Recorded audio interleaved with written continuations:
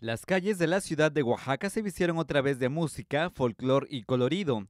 Con el desfile de las ocho regiones que participarán este primer lunes del Cerro, iniciaron el pasado sábado las actividades de la edición número 84 de la Guelaguetza en Oaxaca.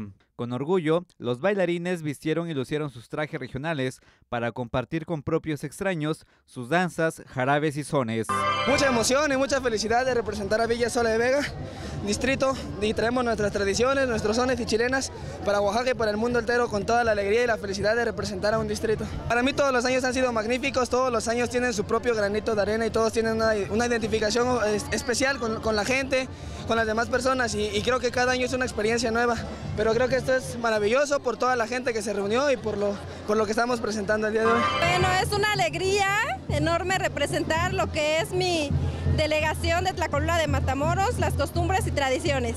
Ah, que deben visitar Oaxaca, sobre todo, y todas las delegaciones, municipios, porque hay mucha gastronomía, mucho por conocer. A diferencia del convite magisterial y popular, ese desfile inundó de color y alegría a los miles de oaxaqueños y visitantes que se reunieron en el centro histórico para vivirlo. Hemos bailado, nos han regalado el, pañuelo, ha sido fantástico. Recomiendo a todo el mundo. No, no, no, que venga todo el mundo, es fantástico, la gente es muy amable y es muy bonito. Y el mezcal está muy bueno. Fantástico, muy bien. Una fiesta maravillosa, mucho color y nos lo estamos pasando fantásticamente.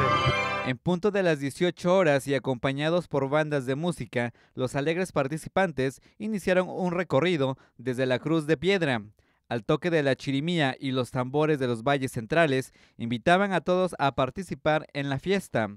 La diosa Centeotl, Leticia María Reyes Salinas, originaria de Jamiltepec, encabezó el recorrido que terminó en la Plaza de la Danza. La Guelaguetza, considerada como una de las celebraciones étnicas más importantes de América Latina, se presentará hoy en dos ediciones y se repetirá el primero de agosto con la octava. Con información de Liliana Velasco, MVM Televisión.